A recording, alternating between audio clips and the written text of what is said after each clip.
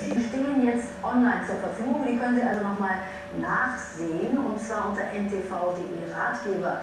Wir, wir sehen uns direkt wieder und zwar nächste Woche in der nächsten Sendung. Bis dann. Ja.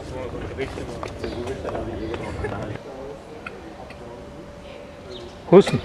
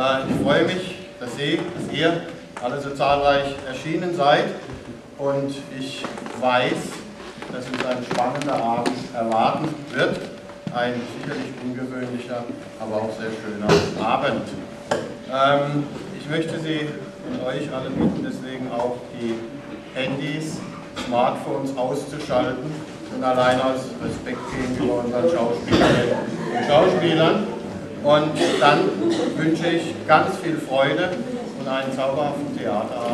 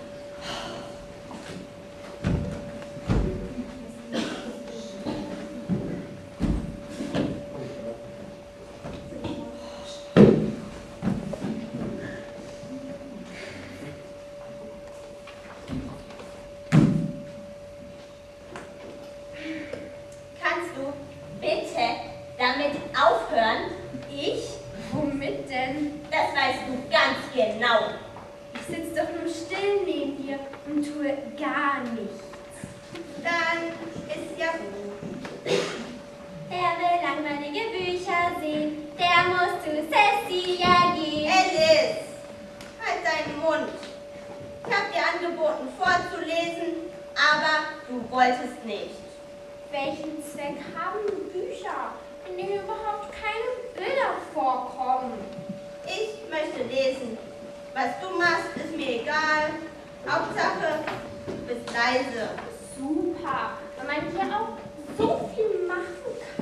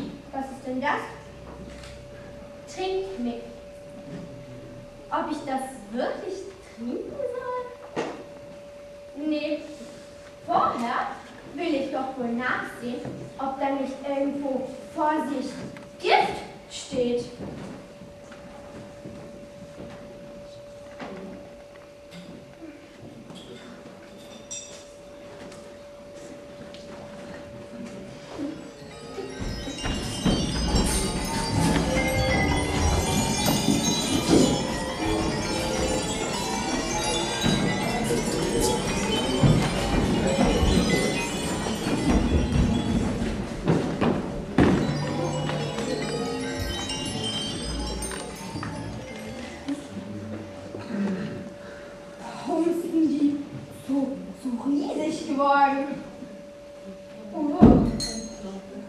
Boah. Und die spüren erst Wahnsinn. Aber dann, boah. Und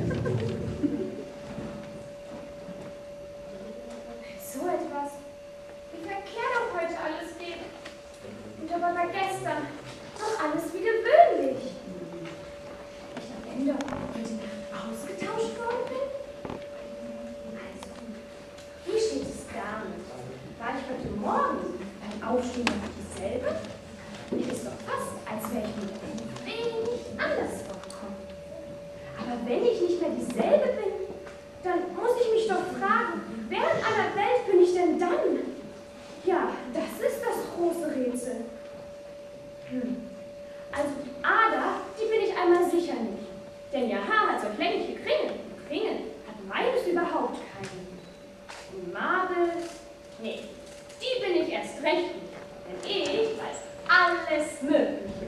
Und die, die weiß doch nur, nur so wenig.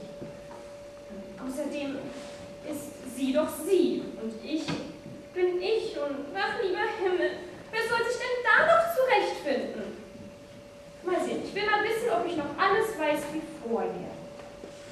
Also, 3 mal 5 ist 12 und 3 mal 6 ist 13 und 3 mal 7 Nee, so komme ich doch nie bis 20. Ach. Hm. Aber das Einmaleins, das zählt doch weiter nicht. Dann doch lieber Geografie. Also, London ist die Hauptstadt von Paris. Und Paris ist dann die Hauptstadt von Rom. Und Rom? Ach nein, das ist bestimmt alles falsch. Dann bin ich also doch mit Farbe vertauscht worden. Hm, ich werde mal aufsagen. Wie emsig doch das Bienelein, wie emsig doch das Krokodil, den Schwanz sich aufgebessert und jede Schuppe fern am Nil. Im Golde hat gewässert, wie klagwild jede Träne rein. Wenn er lockt die Fischelein hinein in seine milden Zähne, nee, das ist bestimmt auch nicht richtig. Dann bin ich wahrhaftig Marvel und muss auch noch in ihrem schäbigen, kleinen Haus wohnen, wo es so gut wie gar kein, überhaupt kein Spielzeug gibt. Nein, wenn ich Marvel bin, bleibe ich hier unten, bis ich jemand anderes bin. Ich wünschte nur, sie steckten endlich ihre Köpfe hinunter. Ich will nun wirklich nicht mehr hier länger alleine sitzen. Bleib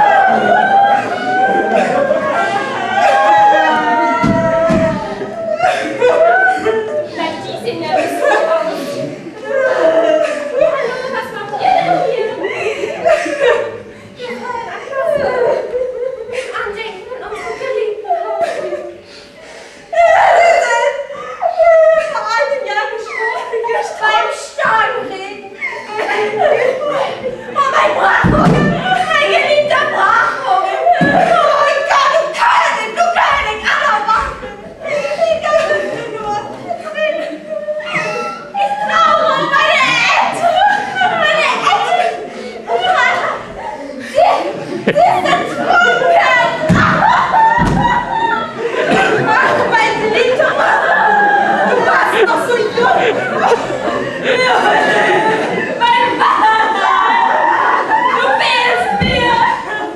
Ja, ja, meine Maus ist ertrunken. Sie ist tot! Nur die Katze, dieser Cheat hat überlebt.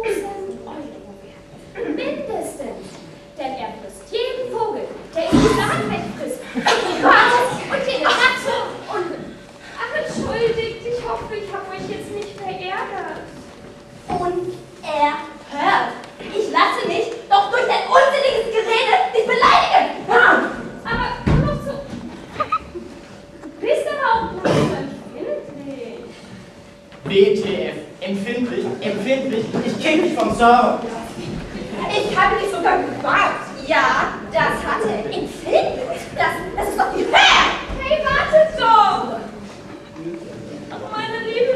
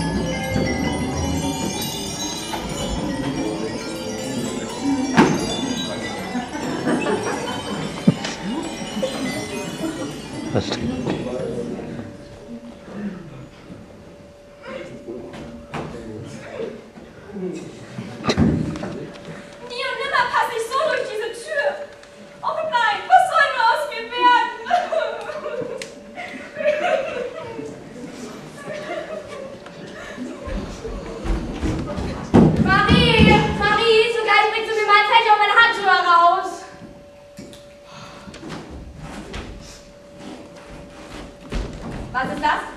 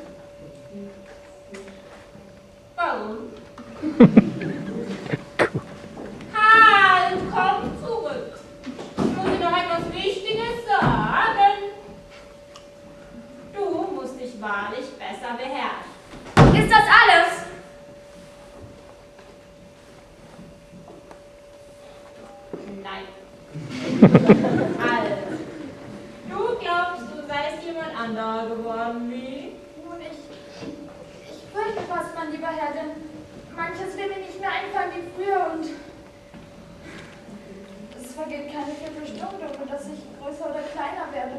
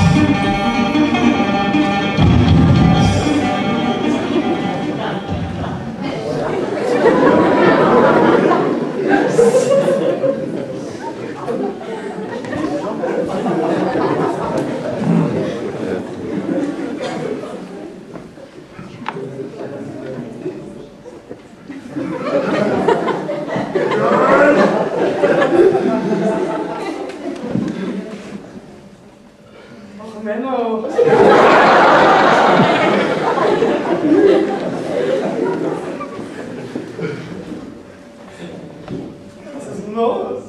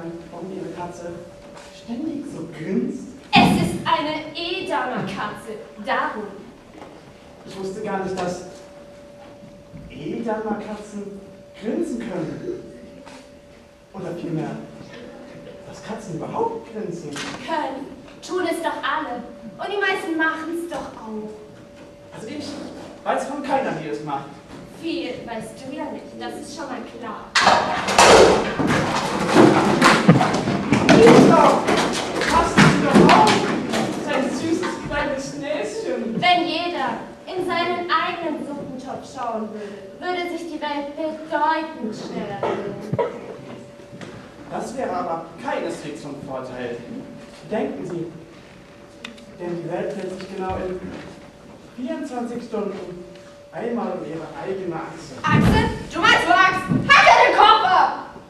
Was sind das? Zwölf? Oh, lass mich in Ruhe mit deinen Zahlen. Ich spreche nur mit meinem Sohn und traue ihm, wenn er nicht doch dieser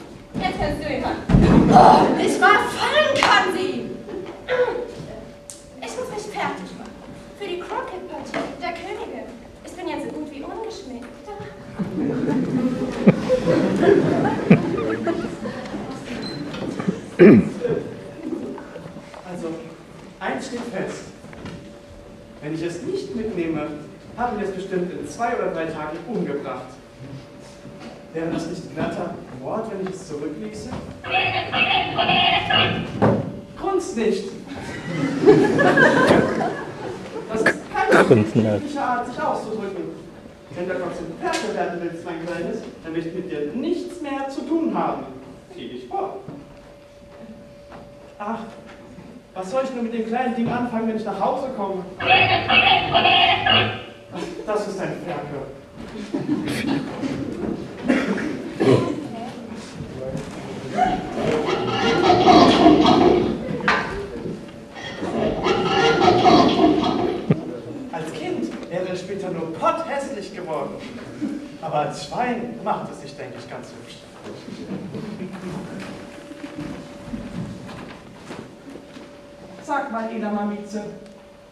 mir sagen, wie ich von hier aus weiterkommen soll?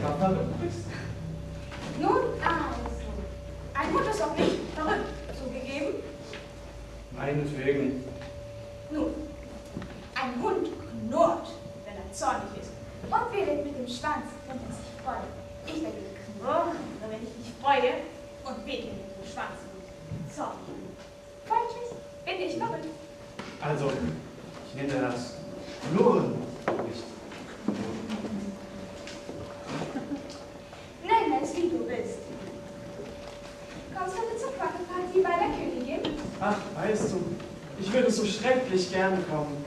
Nur, ich habe noch keine Einladung.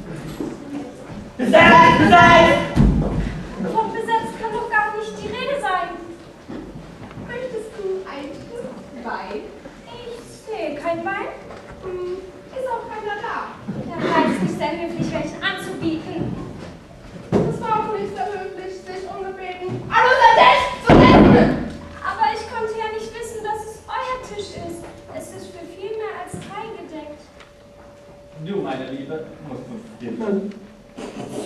Solche direkten Bemerkungen solltest du dir abgewöhnen. Sie sind unschicklich. Hm, Was ist der Unterschied zwischen einem Raben und einem Schreibtisch? Na, jetzt wird es schon lustiger. Jetzt kommen Rätsel an die Reihe. Ich glaube, das bringe ich heraus. Du meinst, wer ist dieser Ratten? Genau das. Dann solltest du auch sagen, was du meinst.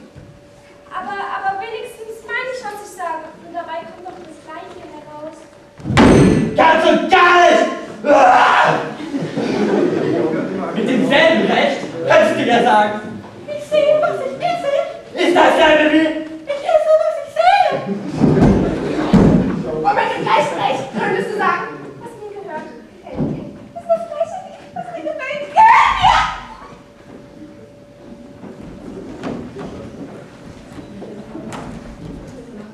Den wievielten haben wir heute? Den vierten. Zwei Tage geht sie da! Ich hab dir gleich gesagt, Butter ist für das Uhrwerk nicht! Das war aber echte Kabelbutter. Das schon. Aber es sind eben Krümel mit hineingeraten. Wieso hast du auch das Brotmesser nehmen müssen? Echte Kabelbutter war das nämlich. Das ist ja mal eine komische Uhr. Die zeigt ja nur Tage an, keine Stunden. Äh, wozu auch? Zeigt einem vielleicht das Jahr an. Natürlich nicht. Das kommt daher, dass es so lange das gleiche Jahr bleibt. Und genau das trifft auch bei meiner zu. Das begreife ich nicht ganz. Natürlich nicht. Hast du das Rätsel schon herausgebracht? Nein, ich bringe es nicht heraus. Keine Ahnung, was ist denn die Lösung? Keine Ahnung. Auch nicht. Ich finde, ihr könntet etwas Besseres mit eurer Zeit tun, als ihr für Lösungen ohne Versch auf Rätsel ohne Lösung zu verschwenden. Du, meine Liebe, hast aber unklare Vorstellungen von Zeit. Wenn du damit so gut bekannt wärst wie ich, würdest du nicht davon sprechen, dass man sie verschwendet. Es ist nämlich ein Er. Das vielleicht nicht, aber ich kenne mich doch sehr gut aus, wenn zu Hause Uhrzeit schlägt. Da haben wir schon. Schläge lässt er sich nicht gefallen. Aber wenn du dich ein bisschen besser mit ihm, äh, mit ihm stellen willst, dann tut er fast alles, was du von ihm verlangst. Stell dir zum Beispiel einmal vor, es ist 8 Uhr morgens und gleich beginnt die Schule. Nur ein Wort in sein Ohr gewispert und schon sausen die Zeiger wie Fluge herum.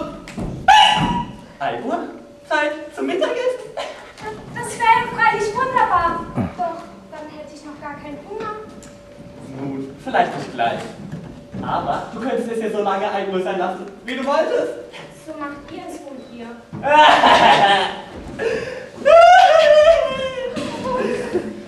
Ach nein. Im letzten Frühjahr habe ich mich mit ihm zerstritten. Kurz bevor der selber gestartet ist! Nun, da gab die Herzkönigin ein Festkonzert.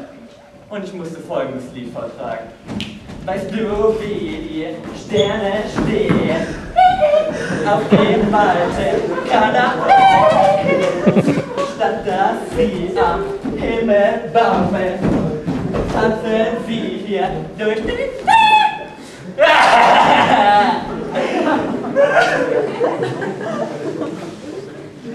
Nun, ich war noch kaum mit der ersten Strophe fertig, mit meinem wundervollen Lied.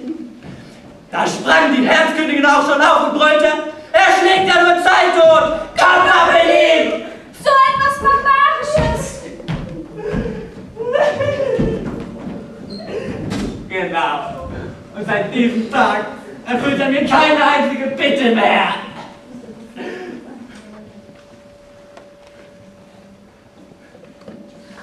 Und es bleibt immer Zeit zum Beurteilen. Sind deswegen so viele Teesachen gedeckt? Allerdings. Denn es ist immer 5 Uhr und wir müssen immer Tee trinken. Und zum Abspülen kommen wir nie. Dann macht ihr einmal die Runde um den Tisch, oder? Genau. Sobald ein Getränk benutzt ist, rücken wir eins weiter. Und was macht ihr, wenn ihr zum Anfang zurückkommt? Das ist doch langweilig. Wie wäre es denn, wenn wir über etwas anderes sprechen? Ich habe eine Idee.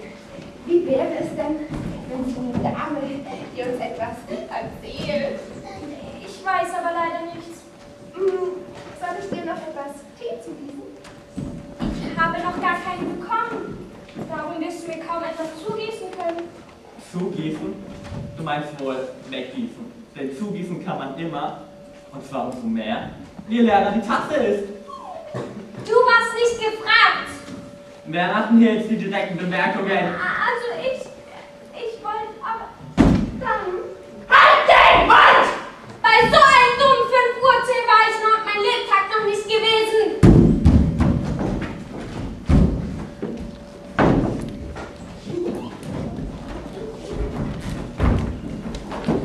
Möchten Sie auch ein Stück Wein? Wein? Es gibt keinen Wein! Oh, danke. Orangensaft? Was immer Sie wollen. Es ist Pause! Raus! Raus! Raus! Raus!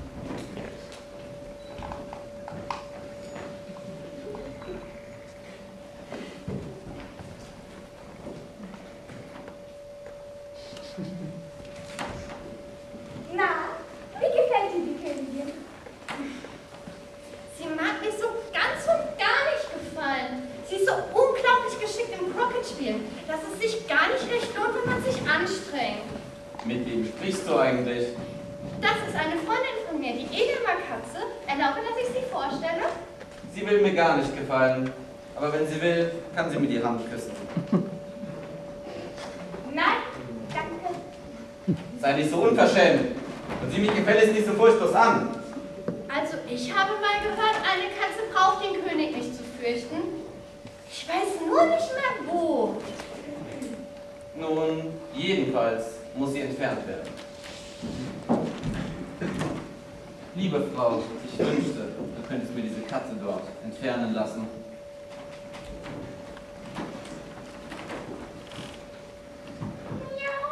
Komm, sag mir! Ab, sag ich! Ich hole lieber selbst den Scharfrichter.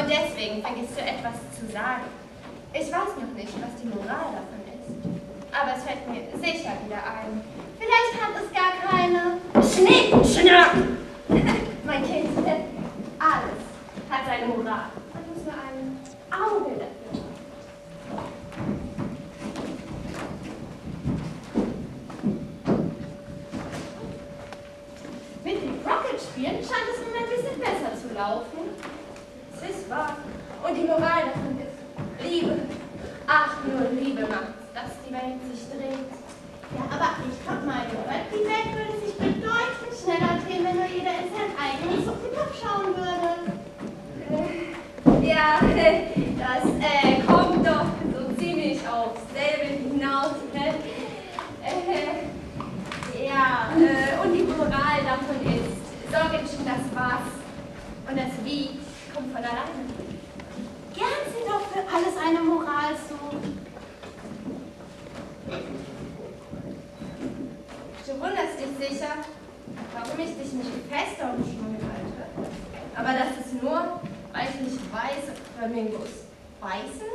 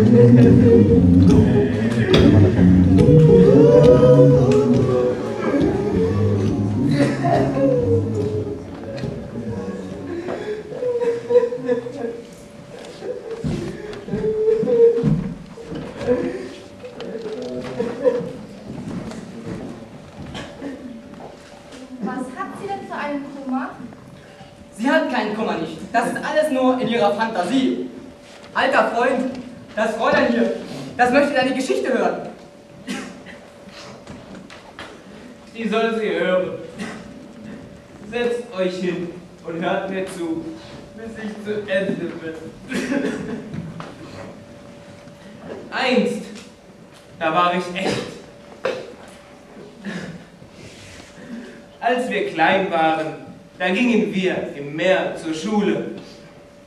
Und unser Lehrer war eine alte Schildkröte. Wir nannten ihn das Schaltier.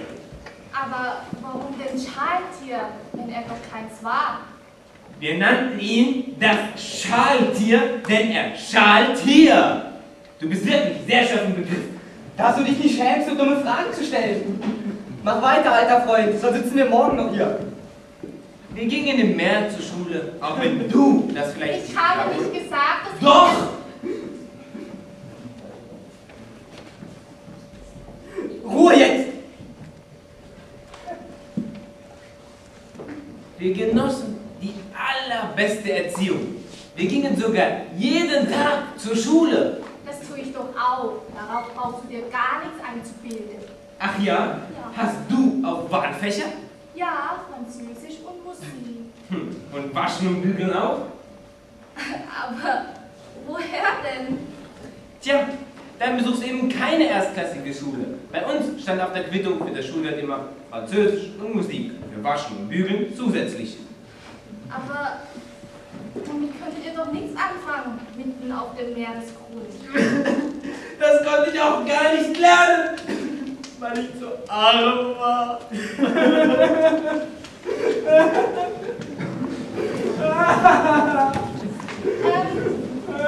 was habt ihr denn sonst noch gelernt? Nun, da wären das große und kleine Nabelweh. Und Deutsch und alle Unterarten. Schönschweifen, Rechtspeibung, Sprachrebeere und Hausversatz. Davon habe ich noch nie gehört. Was ist denn ein Hausversatz? Wie? Noch nie von Hausversatz gehört? Aber was Versetzen ist, das weißt du doch hoffentlich. Das ist, wenn man für etwas Geld bekommt? Na also, und wenn du jetzt immer noch nicht weißt, was Hausversatz ist, dann bist du wirklich auf den Kopf gefallen. Und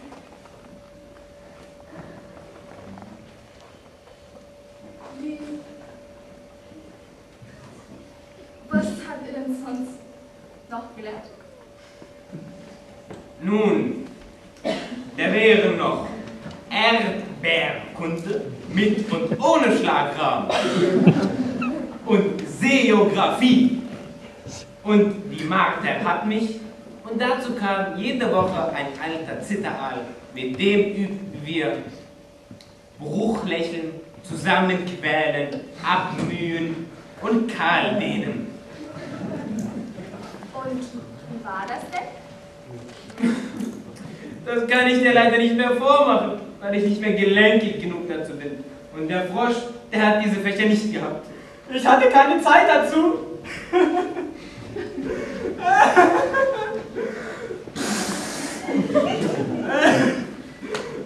Aber in alten Sprachen, in alten Sprachen, da, da war ich immer sehr gut. Wir hatten einen ziemlich alten Krebs. Bei dem gab es immer Viehhisch Verein. Wie es immer hieß. Richtig, richtig.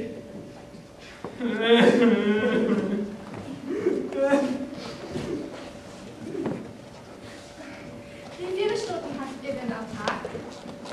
Wir hatten zehn Stunden am ersten Tag, neun Stunden am zweiten Tag, acht Stunden am dritten Tag und so weiter. Hm. Einen schönen Stundenplan müsst ihr gehabt haben. Ja, von Tag zu Tag Lehrer. Es waren ja auch lauter Lehrer im Haus. Da war das unvermeidlich. Und der elfte Tag war also schulfrei? Das ist doch klar. Und was ist mit dem zwölften? Das reicht jetzt, was, die, äh, was, die, was den Stundenplan angeht. Erzähl uns lieber was über die Spiele. Du hast vielleicht noch nicht längere Zeit im Meer gelebt und die Bekanntschaft eines Hummers gemacht. Doch, einmal beim Abendessen habe ich. Äh, leider nicht. Tja, dann hast du auch keine Wundersch... Dann hast du auch keine Vorstellung, wie wunderschön ein Hummerquadrille ist. Das ist wahr. Wie wird sie denn getanzt? Also, zuallererst, da stellen sich alle in einer Reihe am Meeresstrand auf. In zwei Reihen. Seehunde und Schildkröten. Und dann, wenn die Quallen weggeräumt sind, Was nämlich seine Zeit braucht, zwei Schritte vor. jeder mit seinem Hummer im Arm. Mit wem denn sonst? Zwei Schritte vor, Verbeugung. Hummer wechseln und wieder zurück. Und dann musst du wissen, wirft man, Die Hummer soweit man nur kann, ins Meer hinaus, schwimmt ihnen nach, schlägt ein Purzelbaum im Meer, wechselt noch einmal die Hummer. schwimmt wieder zurück ans Ufer. Das ist die erste Figur. Das ist ein sehr schöner Tanz. Möchtest du sehen, wie er geht? Oh ja, gerne. Machen wir doch die erste Figur. Die geht nämlich auch ohne Hummer.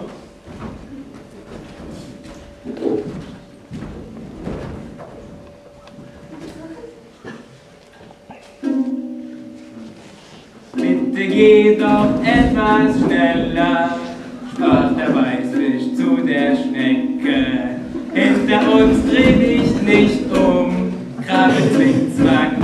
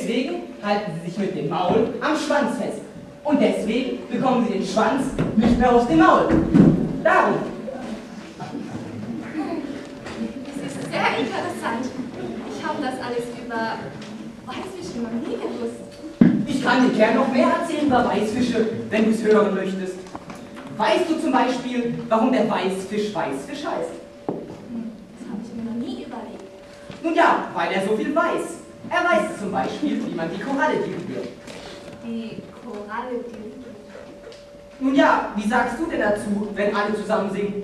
Das ist ein Chor, glaube ich. Na also, und im Meer macht einer den Chor für alle. Das ist die Koralle.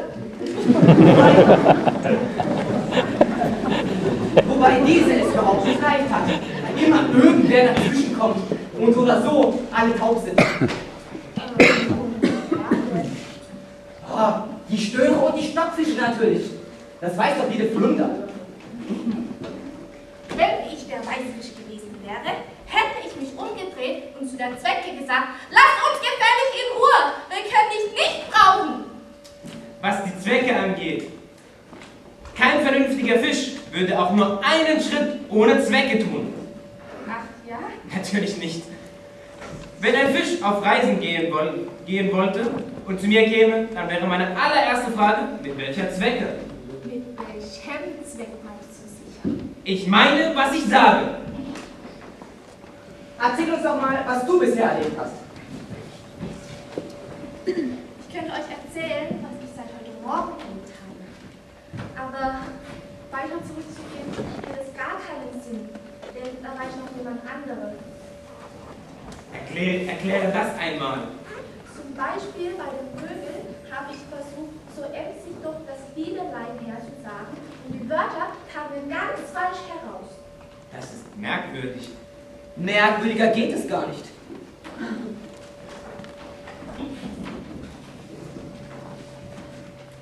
Ob jemals alles wieder mit rechten Dingen zugehen wird.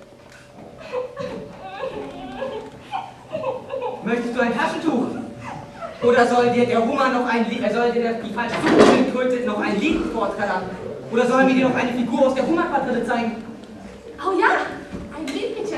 Wenn es der falschen Suppenschildkröte nichts ausmacht. Hm, die Geschmäcker sind verschieden.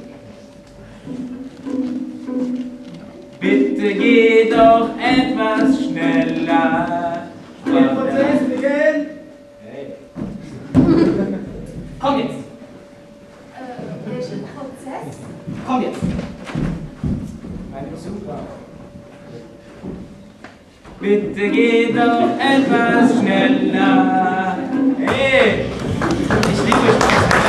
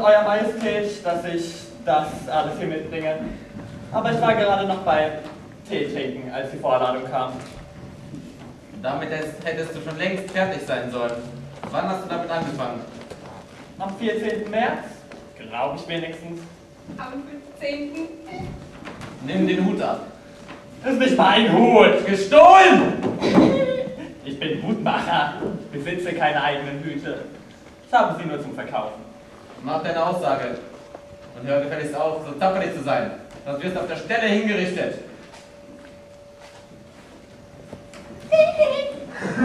Weißt du, wie, wie?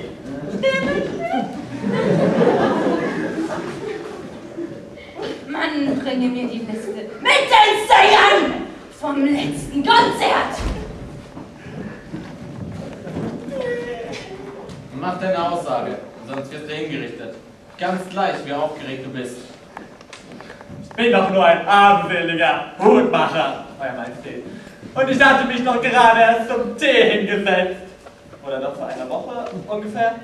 Und dann wurden die Butterbrote immer dünner. Und dann noch das Taumeln durch den Tee. Was für ein Taumeln. Mit dem Tee fing alles an? Natürlich fängt Taumeln mit Tee an. Du willst ihn nur für dumm verkaufen. Und weiter? Bin doch nur ein armseliger Hutmacher. Dann fing alles zu taumeln an. Nur der Schlafhase sagte, Das ist nicht wahr! doch, es ist wahr. Ich bestreite diese Aussage. Er bestreitet die Aussage. Lass das beiseite. Nun, dann schnitt ich noch etwas Butterbrot auf. Aber was soll denn der Schnapphase gesagt haben? Ich weiß es nicht. Das weißt du auf der Stelle, sonst wirst du hingerichtet. Ich habe gar nichts gesagt. Ich bin doch nur ein armseliger Hutmacher, Euer Majestät. Nun, jedenfalls bist du ein sehr ansehlicher Zeuge. Wenn das alles ist, was du von der Angelegenheit weißt, dann kannst du jetzt abtreten. Abtreten? Ich bin bereits auf dem Fußboden. Mein Erinnern kann ich nicht mehr. Dann kannst du dich abtreten. Ich bin nicht müde. Ich will mein Tee zu Ende trinken. Du.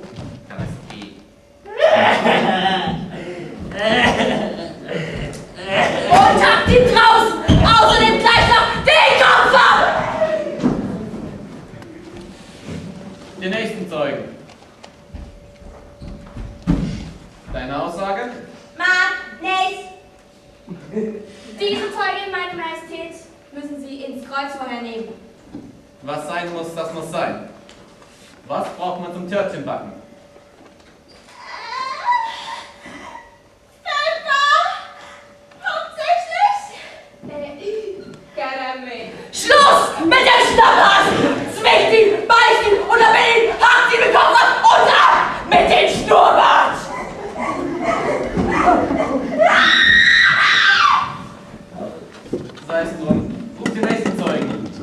Wirklich, liebe Frau, das nächste Kreuzverkehr musst du führen.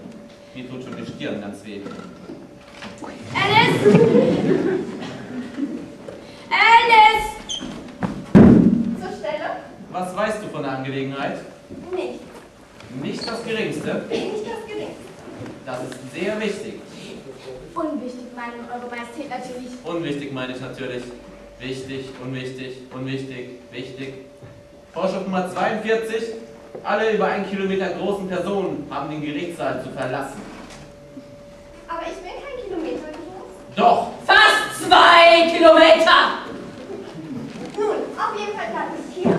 Zumal diese Vorschrift gerade eben erst erfunden worden ist. Das ist die älteste Vorschrift im ganzen Buch. Dann hätte sie aber die Nummer 1. Wie lautet euer Urteil? Noch nicht.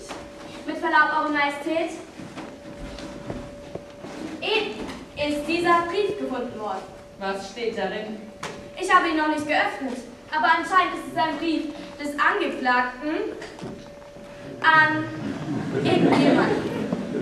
So muss es gewesen sein. Es sei denn, er hat, ja, hat ihn an niemanden geschrieben. Und das ist meines Wissens nicht üblich.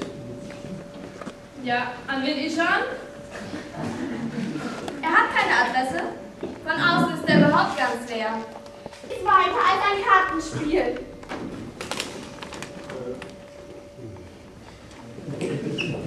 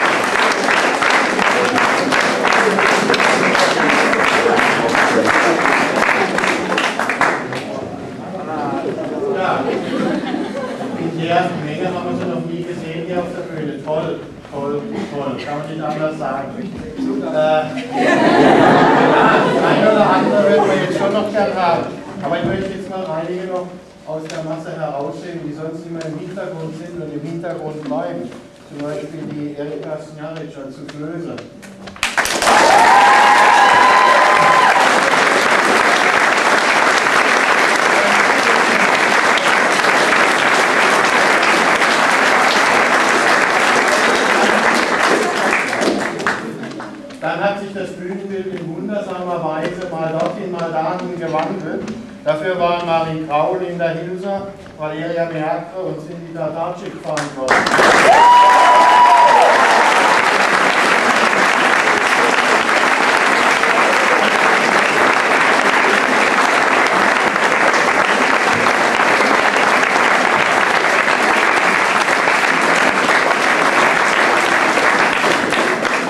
Wenn man überlegt, dass das nicht gerade ihre Alltagskleidung ist, schade eigentlich,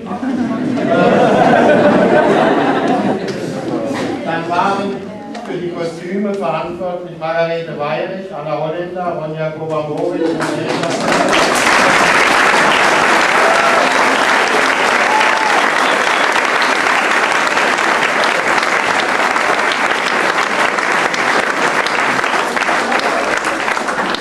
Und damit so viele, die heute Abend den Weg hierher gefunden haben, war es notwendig, auch Werbung zu machen.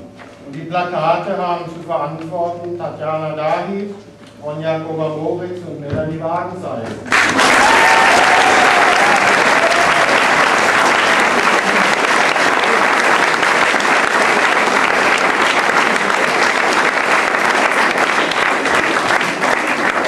Was man liest, die im Dunkeln, sieht man nicht. Da hinten sitzen sie und sind ganz, ganz wichtig. Unsere Leute von der Technik, Daniel Lasch. Daniel!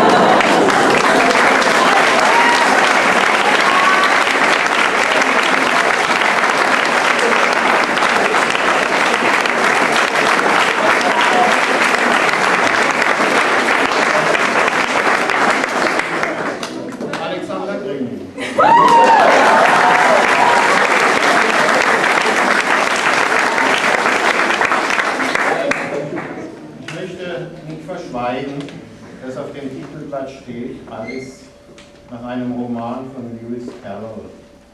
Jetzt müsste eigentlich in Klammern darunter stehen, dramaturgisiert von Stefan Burgemeister.